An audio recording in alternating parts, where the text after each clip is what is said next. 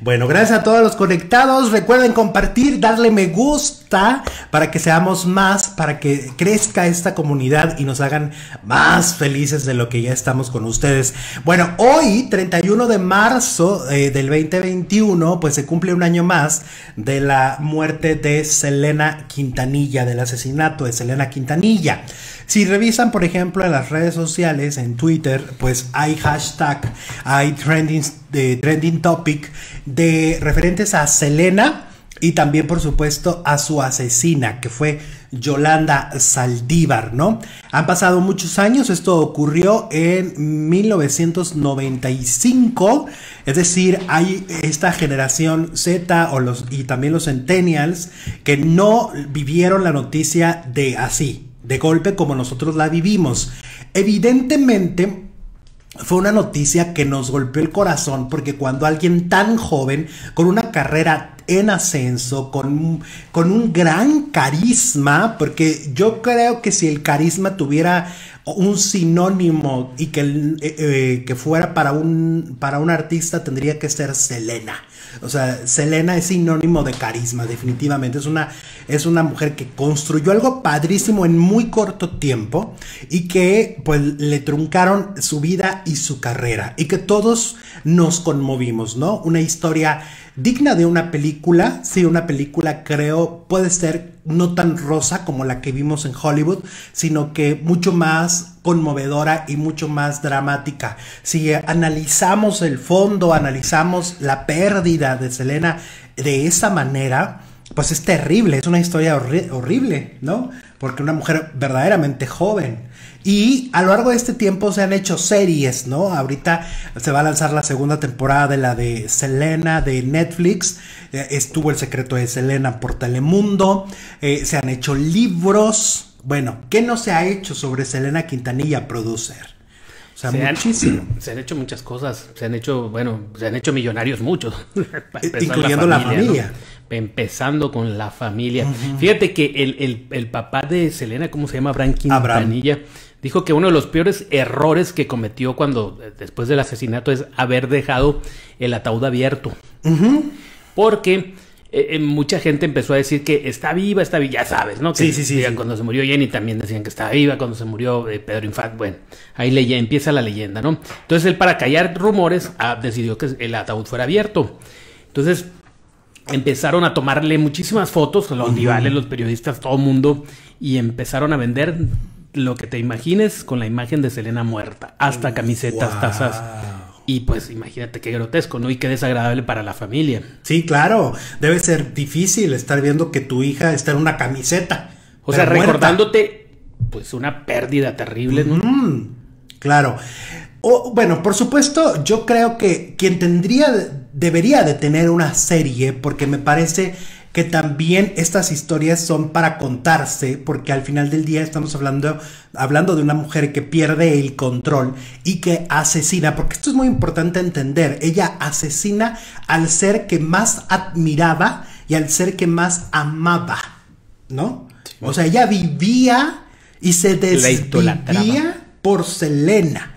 Es la clásica historia de una relación tóxica de un fan con una cantante. ¿no? Ha ocurrido con diseñadores, ha ocurrido con políticos, ha ocurrido con actores y también ha ocurrido con una cantante que se llama Selena. Yolanda Saldívar, este personaje que por, posiblemente es un ícono justamente que muchas veces se usa hasta de broma en memes, ¿no? De, ay, tu relación de tu amiga, ¿cómo está? Y ponen a Selena junto con Yolanda, ¿no? Más allá de que esto no fue divertido y que esto que hoy se utiliza en un meme porque los mexicanos nos encanta reírnos de todo, es una historia del horror. Pero ¿qué ha pasado con Yolanda Saldívar después de aquel fatídico día donde no solo se murió Selena, sino se murió su libertad? ¿No? Ella perdió su libertad para siempre. Yolanda Saldívar eh, en este momento libra su encierro de cadena perpetua. Eso hay que decirlo tal cual. Haciendo labores de limpieza a sus compañeras. Es parte de lo que en este momento está haciendo.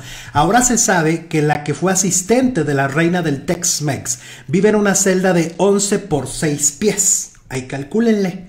Ubicada en un área separada de la población general, donde permanece encarcelada desde hace 26 años. Según relatan, Saldívar tiene una rutina diaria que consiste en estirar las piernas unas horas en el área de esparcimiento, trabaja como conserje y luego regresa a su encierro perpetuo. Es parte de la dinámica diaria. ¿Y a qué horas de baila esta del, mujer. del? ¿Y qué es lo que le hace? Sí, no? lo hace a lo largo del día. Cuando estira las piernas. Ajá, exactamente. Y aunque no sabe, no se sabía ciencia cierta qué fue lo que en ese día la llevó a perder la razón. Y cuando Selena se va porque, porque, porque le da el, el- el- disparo por la espalda, no Claro. se sabe exactamente, porque si tú te fijas, desde el momento, desde el primer momento ya pierde la razón, desde que está en el, en el, en el auto, ¿no?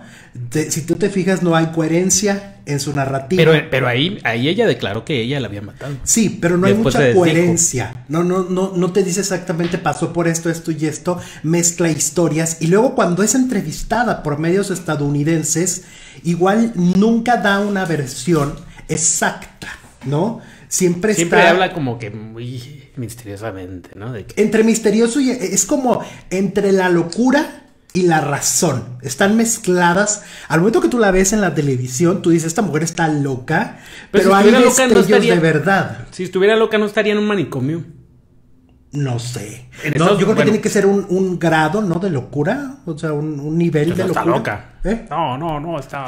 O sea, sí, siento que está entre esos, está como entre esos ah, yo digo que está más cuerda que todo mundo y cuando hay cámaras f- se hace la loca para que, pues, para que la caer un poquillo mejor, ¿no? Tenemos muchos años sin verla. Realmente creo que esta última imagen es de, pues, yo creo como 20 años. Yo creo ¿eh? que si las autoridades detectaran que está loca, pues la mandan a un reclusorio, a un manicomio, a un, a un centro de salud mental donde esté, eh, sí detenida, pero también atendida, ¿no? Pero ¿qué será hoy? ¿Un adulto mayor? A ver, bú- búscate la edad. Porque esta imagen es de hace como 20 años. Entonces, hoy debe A ver, ser... ¿cuántos años tenía ¿Cuántos años tiene en este momento Yolanda Saldívar? O sea, yo pienso que entonces ya, ya tiene una avanzadísima. Yolandita Saldívar, le van a decir, la defiendes. No, Yolanda Saldívar, la asesina de salida, Sa- Selena. Selena, nació en 1960, o sea, tiene 60 años.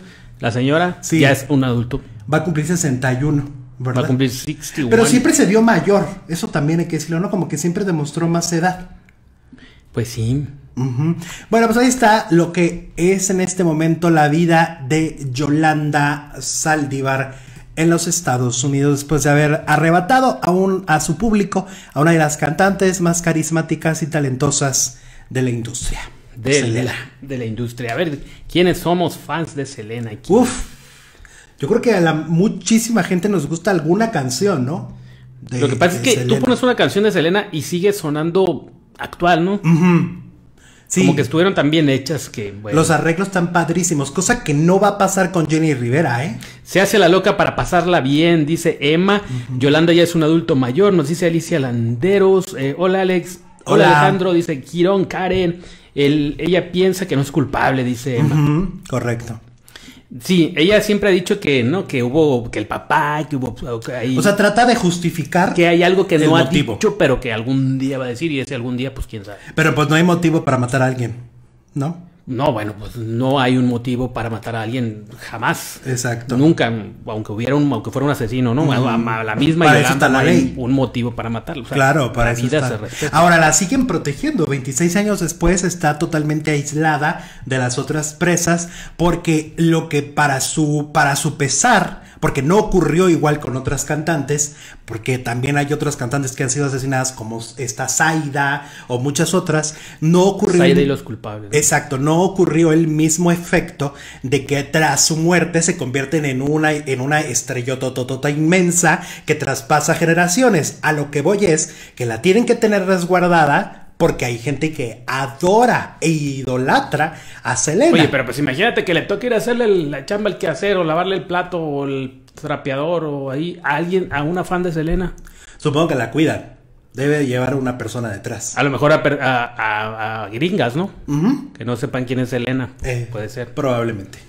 Eh, Darío dice, hoy es mi cumpleaños y me merezco mi felicitación por Alexito y el Claro. Pero cómo no, mi Darío, hombre. Darío, te mandamos un abrazo, feliz cumpleaños. que cumplas muchos más, que te la pases bonito. Feliz cumpleaños, mi Darío. Sí, sí, sí, ¿cómo de que no? ¿Qué más, producer? Alex, ¿cuál estando, estando pero te gusta? Dice Marilu. Mucho, soy muy fan de los estandoperos, muy, muy fan. Me encanta eh, Ricardo Farril, me parece brutalmente genial, me encanta su podcast además. Alex Fernández también me parece muy bueno. Manuna también, no me gusta como perra de hoy, de veras, no me hay gusta. otras. No me gusta como la Chenchi, pero me gusta mucho como estandopero. Eh, ¿Quién más me gusta? Chumel Torres también, lo he visto en stand-up y es muy bueno. Es que sí soy fan de mu- soy fan de mucha gente. Yo soy una persona que me encanta admirar a los demás. Entonces soy fan de muchos estandoperos, claro que sí. Y también los de la cotorriza me fascinan. El Slobosky y el buen Richie.